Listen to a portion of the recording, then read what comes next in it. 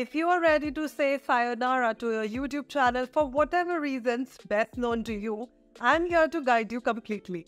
Remember, when you nuke your channel, all the videos in it will be wiped out too. So if you're particularly fond of any of your videos, be sure to move them to your hard drive before hitting that delete button.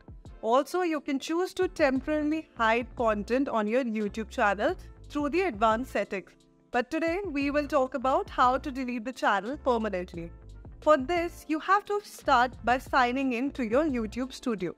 Now on the left sidebar, you can locate the term settings, click on it, select channel and then advanced settings. At the bottom, you will find the option to remove YouTube content. Select remove YouTube content if you're asked to enter your sign-in details. Select I want to permanently delete my content. Select the boxes to confirm you want to delete your channel. Select delete my content. It may take some time for your channel to be permanently deleted, so be patient during the course. Once deleted, your URLs won't work and channel name will be no longer available or searchable in YouTube Analytics.